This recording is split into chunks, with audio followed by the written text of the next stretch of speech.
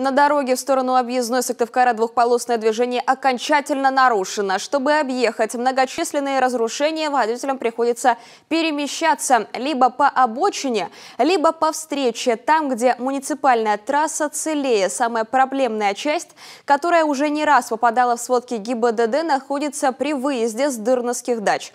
Вот, например, грузовик почти потерял груз. По предварительным данным МАЗ именно объезжал ямы по обочине в результате результате накренился на бок. Два года назад асфальт здесь меняли шашечно.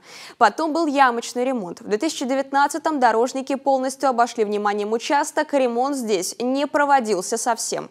Между тем, направлением активно пользуются дачники, а также шоферы большегрузов, которые, подчиняясь требованиям дорожных знаков, вынуждены ввозить грузы в столицу Коми именно по такому пути.